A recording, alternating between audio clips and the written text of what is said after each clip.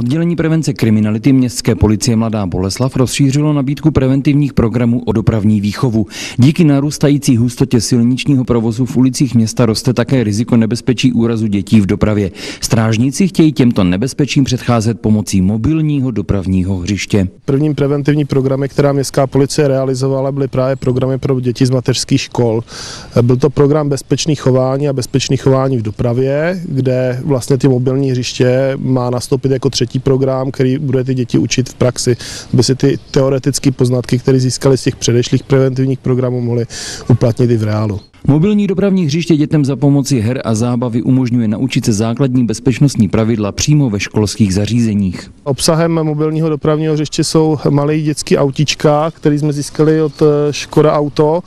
Děti se na nich vlastně pohybují po dopravním hřišti, které je osázeno základními dopravními značkami a semafory. Ty značky jste si vyráběli sami?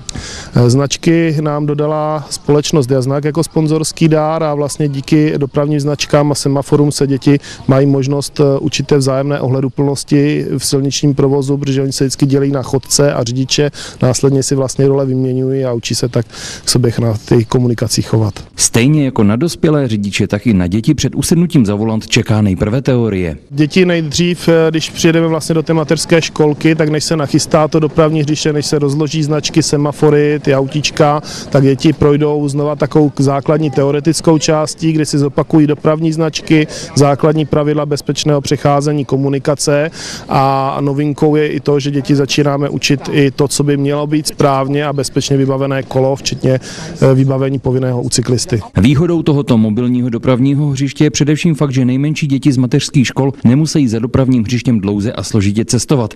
Nápad si pochvalují nejen strážníci, ale i pedagogové. My jsme v podstatě to mobilní dopravní hřiště už s těmi pedagogy konzultovali v době jeho přípravy, takže myslím si, že i na těch záběrech děti jsou spokojení a hlavně co je nejdůležitější, tak samozřejmě se uplavňují ty základní návyky bezpečnostní v dopravě. Prvním školským zařízením, které si výhody mobilního dopravního hřiště mohlo vyzkoušet, byla mateřská škola Čtyřlístek z Havlíčkovy ulice.